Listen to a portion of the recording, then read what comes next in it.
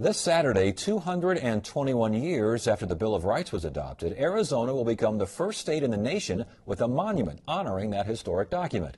Arizona's Bill of Rights monument will be unveiled and dedicated Saturday at 10 a.m. at Wesley Bolin Plaza near the state capitol. Earlier, I spoke with a man who led the effort to get the monument built, juggler and comedian Chris Bliss, the executive director of MyBillOfRights.org.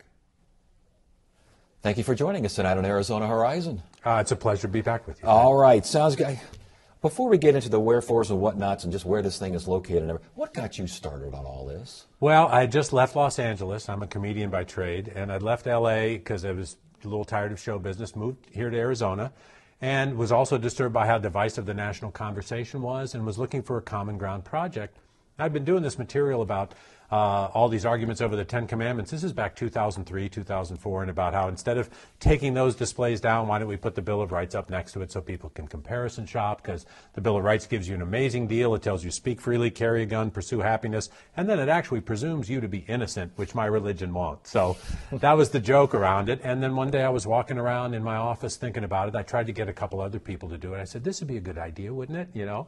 I Googled Bill of Rights monument, saw there wasn't a single one anywhere in the United States, and thought, that cannot be. It's a great common ground project. Both conservatives and liberals love large parts of it, even though people would argue they don't all love all of it. And so I was looking for something that would people would come together around in a time when badly divided. We're just as badly divided now. So six years later, here we are. And here we are, indeed, in Arizona. What, was it because you were here you decided to focus on Arizona? Any other reason why Arizona would be the first? It was uh, serendipity, you might call it. Uh, I was uh, doing some radio shows. I was on a radio program that newly elected at then time state House of Representatives Kyrsten Sinema, which had a half an hour thing on a Saturday show. Somebody said, You want to come in and talk about your project? I was talking about it on the air with Kyrsten. She said, I'll take that in front of the legislature. You don't need any appropriations. And I went over to her office in January and she said, Chris, if you haven't noticed, we don't exactly run this place. Maybe you should take it over to the other side if you want to get this authorization. And I said, Kyrsten, don't be silly. It's the Bill of Rights. It belongs to all of us. I said, find one person on the other side, join up with them, and I bet everybody comes along for the ride. She reached across the aisle to Karen Johnson. You couldn't get more polar opposites. And that started the whole thing, became the template for the way we've been trying to do things ever since. And we got unanimous approval. And then it was just a matter of finding the right site. That took a while.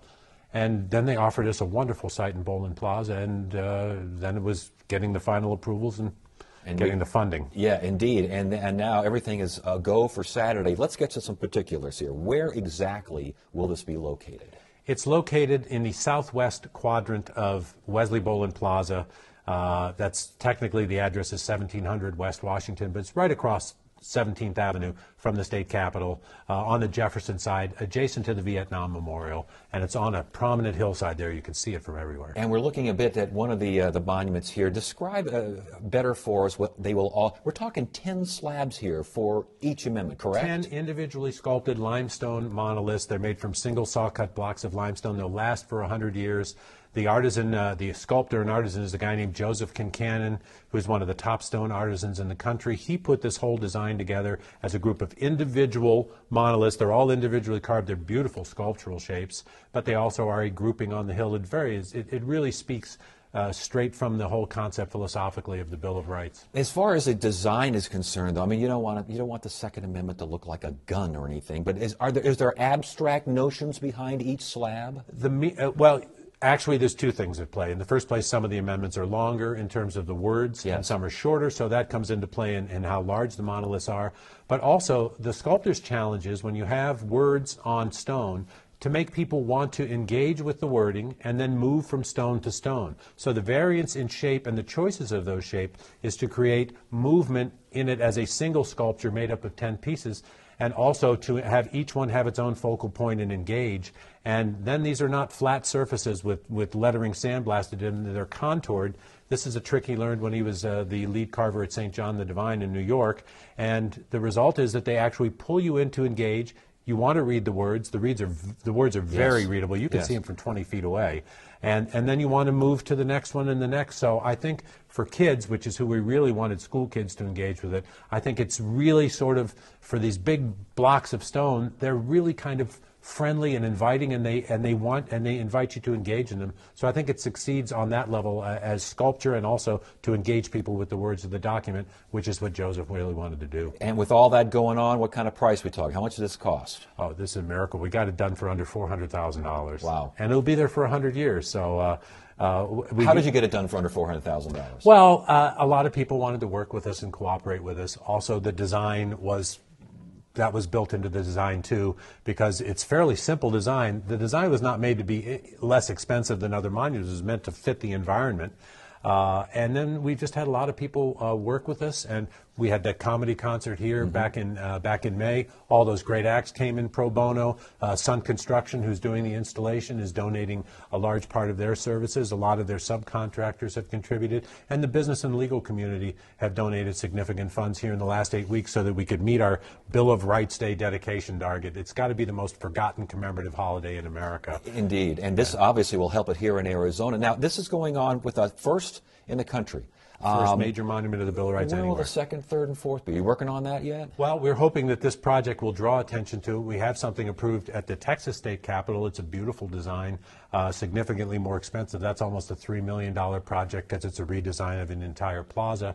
Uh, and I'm hoping that the attention that would be drawn to this, and we're getting some good national attention, and we should have a day that's just about the ideas that made the country great. You know, just one day a year. I mean, call it National Ideas Day if you want to call it that. The Bill of Rights is one of the best ideas that humanity's ever come up with, and celebrating it seems to me to be uh, it's great ideas that make a great nation, and the Bill of Rights is a big part of our greatness. So, with that last question, you've seen the finished product. Uh, we will all see this finished product on Saturday. Uh, you've put so much of your life into this, so much effort, uh, so much attention. Are you happy with the way it looks? I'm. Uh, it's beyond my best expectations. I've seen it uh, during the day now. I've seen it. We put lighting on it at night. The stone is so beautiful. It's scaled perfectly to the space. The landscaping. I, it's the first really inviting space over in Wesley Bolin Plaza. I think it's going to become a major landmark for the state and also for the city of Phoenix. Uh, that's one reason the mayor's going to be there, the governor's going to be there, Kyrsten Sinema and Karen Johnson are going to be there, the chief justice is going to be there. We're going to have 10 different individuals, each unveiling one of the amendments while we have a reading of the amendment over the loudspeakers so that all the so that the Bill of Rights will be front and center. We'll also have some fun that way. So uh, it's just going to be a terrific celebration. Well, congratulations on this and good luck Saturday. Good to have you here. Thanks for joining Thanks. Us. And I should just mention 10 a.m. on Saturday is when the dedication is. And you know what? I'm going to mention it again right now. The dedication ceremony ceremony for Arizona's Bill of Rights monument takes place this Saturday, as Chris said, 10 a.m., Wesley Bolin Plaza, right across the street from the Arizona State Capitol. You'll find more information online at mybillofrights.org.